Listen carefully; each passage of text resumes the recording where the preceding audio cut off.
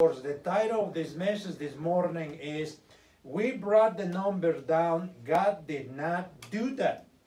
And I'm sure you people that are watching or hearing this message out here on the on the on this area, you know where I'm going with this.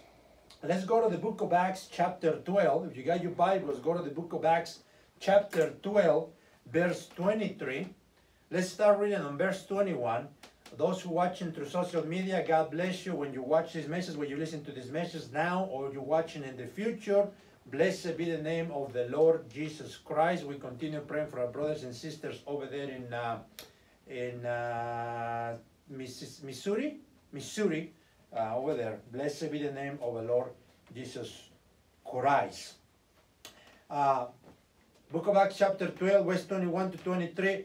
And Uh, before that, let's go to 1 Samuel chapter 2, verse 30. And that one says, Those who honor me, I will honor them. That's what 1 Samuel chapter 2, verse 30. Now let's read Acts 12, verse 21 to 23. And upon a set day, the day came when the governor Herod dressed himself in a royal apparel and sat upon his throne and made an oration, a speech unto them. And the people gave a shouting, saying, This is the voice of God and not of men. And immediately an angel of the Lord killed him, because he gave not God the glory, and he was eating of worms and gave up the ghost. Mm. Let's read it again. And upon a set day, the governor of New York set up, dressed himself, I'm sorry, the governor of the Rome Empire set up and set his throne and gave a speech. He set up his press conference. This mm-hmm. governor set up his press conference and he started speaking. You know, we all need God. Before I go there I'm going to tell you this, we all need God. Rich, poor, uh, tall, short, Americans, Hindus, Hispanics, fat and skinny, we all need the Lord God Almighty. Doesn't matter who you are, politicians, kings, kings of this world, whoever it is out there, you need God, whatever you want it or not.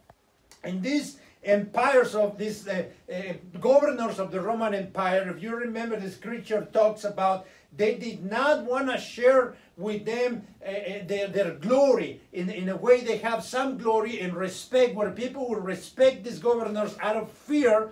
Uh, and these governors will be, they're considered gods in the Roman Empire. So King Herod comes over here and he set up his press conference and he dressed himself in the apparel of the governor of the state of whatever state he was the governor of the Roman Empire, he set up his press conference and he started speaking. Remember, these governors were considered gods. They were very eloquent. They were very eloquent to the way to that they can persuade the multitudes one way or another and convince them to vote for them and to put them in, in places of power.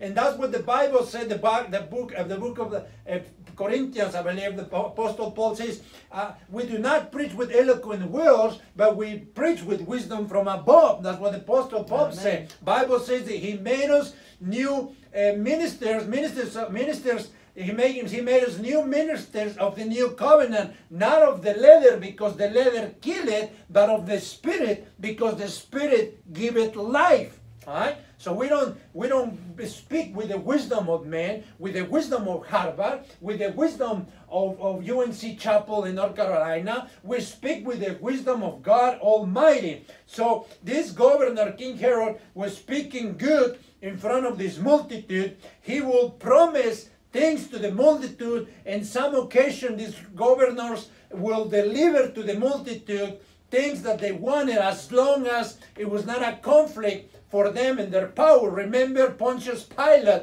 did it too. He went ahead and washed his hands when the multitude was shouting, Give us Barabbas, give us Barabbas. Then Pontius Pilate said, Okay, I will give you Barabbas, and I'm going to wash my hands of this the blood of this innocent man, Jesus. He's a just man, he's innocent, and I will crucify this man, and I will give you Barabbas because that's what's going to make you happy. And that's what this governor did on that occasion. Instead of, of saving the life of the Lord Jesus Christ, he gave them what they wanted, which was sin, which is Barabbas.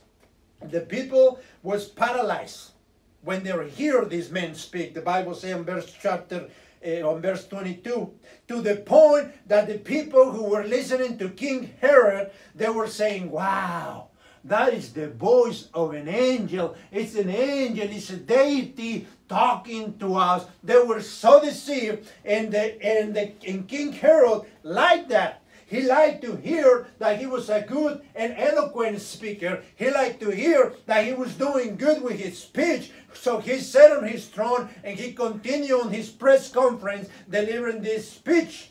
And the Bible says in verse 23 Immediately the angel of the Lord killed him because he gave not God the glory. You know, the people are saying, wow, you look like a God. Wow, you, I speak like an angel. Right there, he should have said immediately, no, I'm not God. I'm not an angel. I'm just a mortal man, just like you people are. And I fear the Lord God Almighty. But no, he liked the attention. He liked the fact that people were praising him and were exalting him and put him on the pedestal. And he loved that attention. And for that, God killed him. Psalm 29 verse 2, give unto the Lord the glory, due unto his name. The glory belongs to the Lord Jesus Christ. And the same thing is gonna could happen to the governor of New York. God could kill him. He's the one who came out this week with that stupid, foolish statement saying it was not God it was not God that, that, that dropped the curve of this COVID 19. It was not faith. It was us, he said. We did it, he said. You're a fool. What's your name? Como? Como? Kama? It doesn't matter what your name is because the name that is above every name is the name of our Lord Jesus Christ. Huh? Yep. God did not do it, did it, he says. Mm-hmm. Faith did not did it. Yes, faith did it. Yes, God did it. There's still a remnant in America that has been on their knees praying and fasting and, and claiming and asking the God of the Bible to stop this, this, this, this pestilence. Yes. It is not your ventilators. It is not your FEMA uh, uh, productions. It's not your hospitals. Blessed be the name of the Lord for doctors and nurses that are working hard. But it's not your efforts, Governor of New York. It was the hand of God Almighty who says enough. No, he turns around and says, God did not do it, do it. And all the wicked devils that hate God, they praise this man and say, Yes, yes, we want Barabbas. Yes, we want Barabbas. Kill Jesus. More abortions, more sin. Huh? And they respond to this imbecile, fool governor of New York. Lamentations chapter 3. Lamentations chapter 3, verse 37. This is what it says. Who is he that says, and it comes to pass when the Lord commanded not? In other words, no one can do anything without the Lord's approval. Amen. No one. That includes the President of America, the Governor of New York, the Governor of Wisconsin, the Governor of Arizona, anybody. You cannot do nothing without the Lord's approval. Hebrews 10:31 It is a fearful thing to fall into the hands of the living God. I do not want to be the governor of New York and right now. If he dies, he's got, he's, he has a great torment in hell waiting for him. Psalm 14:1 The fool, the governor of New York has said in his heart, There is no God. There is no God. And all the people that voted for him, that put him in those places, that's why Christians gotta stay away from voting. You gotta be after your father's business, which is the kingdom of heaven. God has the control of everything in his hands. God is the one who killed it and gave it life. Deuteronomy chapter 32, verse 39, the song of Moses. He's the, he says right there, I, God, the one who killed it, and I, the one who give it life. We have an example. Now there's nothing new under the sun. Second Samuel. Let's go to Second Samuel, uh, chapter 24. Second Samuel, chapter 24. I'm gonna show this uh, imbecile governor of New York, that God has the control of everything. God already sent a pestilence like COVID 19 to this world once. It's right here on the Bible, 2 Samuel chapter 24, verse 15 and 16. So the Lord sent COVID 19, so the Lord sent a pestilence upon Israel from the morning even to the time appointed. And there died of people from David to Beersheba 70,000. 70,000 people died of this pestilence that the Lord sent. And when the angel stretched out his hand upon Jerusalem to kill the citizens of Jerusalem, to destroy, the Lord repented him of the evil. And he said to the angel, that destroy the people. He said, it's enough. Remove thy hand. It's enough. No, but the governor of New York comes out and say, we did it. It was not God. It was not fate. We did it. Your ventilators can do nothing. Your hospitals can do nothing without the blessing of God Almighty. God is the one who's saying over New York, it is enough. God is the one who's saying over the world and over America, it's enough. He knows when these killings are going to stop. He knows when the cure is going to come. When he, when he said, it's enough. And they projected this curve that he was going to kill 100,000 and 250,000. But God is saying, it's enough. These wicked devils are saying, we did it. Can do nothing without the blessing of the Lord God Almighty. God ordered this angel right here on verse 16. He said, stop the killing. It's enough the waves, the oceans, the winds, animals, the whole entire creation obey God. Everything was created by Him and for Him. Another occasion, another king, another governor. Daniel, let's go to Daniel chapter 4. Daniel chapter 4, verse 30 in 30, 32, and you know the story, King Nebuchadnezzar builds, uh, with the blessing of God, builds Babylon, a great city, but he gets puffed up. He gets prideful. And pride comes before destruction. Bible says he gave grace unto the humble, but he rejected the price. He refused the, the, the pride. Huh? So verse, verse Daniel 4, verse 30, let's start at verse 29. And at the end of the 12 months, he walked in the palace of the king of Babylon. Nebuchadnezzar was walking on his palace. And the king, and the king spoke, then he started speaking. See, the king, the governor, started giving a speech. He called for a press conference again.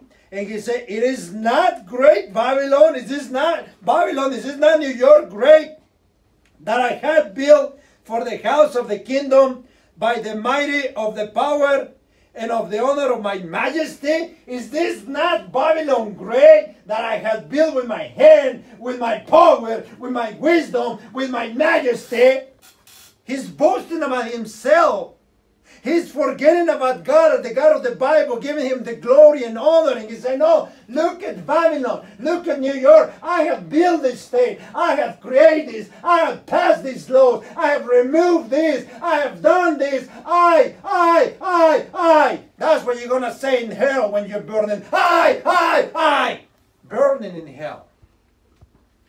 Bible says in verse 31, while the word was in the king's mouth, there fell a voice from heaven. See, he's not even finished with his press conference, King Nebuchadnezzar. He's not even finished giving his wicked speech. He's boasting about himself when a voice from heaven comes down and saying, Oh, King Nebuchadnezzar, to thee is spoken, the kingdom is departed from you. I'm removing the kingdom from you. You're not longer going to have this kingdom anymore. Verse 32, this is the punishment that God gave to this wicked governor, to this boastful, prideful man on his, he, he was not even finished with his press conference, and he says, and they shall drive thee from men, and thy dwelling shall be with the beasts of the field. They shall make thee to eat grass with the oxen, and seven years, seven times shall pass over thee until thou know that the Most High ruler in the kingdom of men and give it to whosoever he will. He sent King Nebuchadnezzar for seven years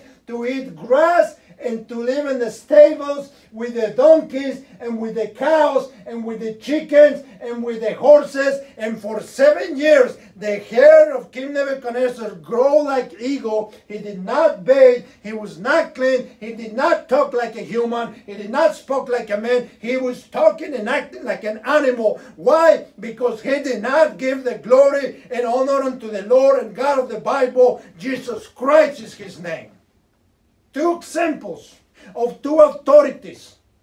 Two people who were put in power and did not give the glory and honor to the God of the Bible. One of them, God smite him right away and killed him on Acts chapter 12. Here on Daniel chapter 4, King Nebuchadnezzar said, Oh, look at Babylon. Ha! Look at this great state. Oh, we did it. God did not do it. Faith did not do it. We did it. No, God did it. God's in the midst of everything. The Bible says the eyes of the Lord are everywhere, keeping an eye on the wicked and on the good. Man, he forgot about God. Verse 31, he was not even thinking and speaking when God gave him to remove the kingdom and sent him to eat grass, cornhusk, and to be living with the animals. Jude, book of Jude, chapter 1, only one chapter there, verse 25. This is what it says at the very last chapter, the very end of the chapter. Now remember, the one who writes this book is half brother, is Jesus Christ, half brother. To the only wise God, our Savior, be the glory and majesty, dominion and power, born now and ever. Amen. Amen. Amen. The glory, the honor, and the majesty, dominion, power belongs to God Almighty. He did it. You didn't do nothing. You can do nothing without the Lord. Bible says in everything, in 1 Corinthians chapter 10, verse 31, in everything, no matter what you eat, no matter what you drink, in everything you do, give honor and glory unto the Lord Jesus Christ. On everything. Romans 11, 36, to him be the glory forever. In everything, give thanks unto the Lord. In the smallest thing, in the biggest things, when the Lord gives and when the Lord takes away, give honor and give credit to the Lord God Almighty. I have a small example right here. I remember when I was working at the furniture store. Uh, in other locations, other places too. I don't, I, I don't know how I can do a lot of these things. Well, I know how because God gave me the wisdom because I give God the glory. And I remember my co-workers will come and ask me, how do you learn how to do this? And I'll reply and say to them, in the kingdom of heaven. The next week they will watch me do something else that I, I myself never done it before too. But I find a way through the wisdom that comes through God. And my co-workers will come and ask me, Edgar, how did you, where did you learn how to do this? And I say, in the kingdom of heaven. Giving honor and glory to the God of the Bible, the Most High God. He's the one who deserves the glory, the Most High God. So the, the message is that. Today, a wicked man this week came out and said, it was not God, it was not faith, we did it. You can do nothing. You're an imbecile if you think you can do something without the Lord. Governor of New York and the people of New York of America repent and believe the gospel. Give God the glory. Give God the glory. Huh? He can call you. He can command you to turn into animal, to turn into something. He can even kill you. The worst thing is kill you. And you will be in eternity, suffering torments. So the Bible is, the, the message is short today, but I hope I went straight to the point and I show you examples from the Bible. In the book of Acts, when a wicked governor, a wicked politician, decided not to give the glory and honor to the Lord Jesus Christ, God killed him right there. On the book of Daniel, chapter 4, verse 30, when King Nebuchadnezzar started boasting about himself and saying, We did it, we did it, and forgets about his God, and they, forgets about God, the God of the Bible, who allows him to be in that position and don't give him credit. God, before he even finished with his press conference, called him to the donkeys and to the, and to the stable to live there for seven years. And you wonder why you live like an animal, and you wonder why nothing goes right goes goes right because you don't honor, you don't acknowledge that God is the one who put you in the positions that you are. You don't acknowledge and you don't give God the glory, and everything you do, give God the glory. Everything, everything. Right now, we see more people turning to God and more receptive to listen to the word of God right now out of desperation, out of fear. They don't want to lose their houses, they don't want to lose their, their possessions, they don't want to lose their lives, and they know there's no solution. The solution don't come from the government. The government can do nothing for you. The only one that can change your situation and your life forever and ever and ever is Jesus Christ. Jesus Christ. So America turned back to God with all fasting, crying, and supplication. If you're watching, if you're listening to this message right there, right where you are in your house, repent of your sins, get in your prayer closet and ask God for forgiveness. Acknowledge that you're a sinner and ask God to come into your life, to change your life. Ask God that you want Him to be the master of your life. If Jesus is, if Jesus is not your master right now, then who is your master? Who is your master? Hmm? So that's the message. Father God, we come before you in the name of your Son Jesus Christ, Lord. We love and we thank you. We thank you, Lord, for your word that teaches all things. We thank you, Lord, for your word that allows to see that you have created, everything is created for you and by you, Lord. Even the waves, the oceans, the winds, the mountains, the animals obey you and commend you. And nothing happened on this world without you giving approval, Lord. All the honor, all the glory belongs to you, Jesus. In Jesus' name we pray. Amen.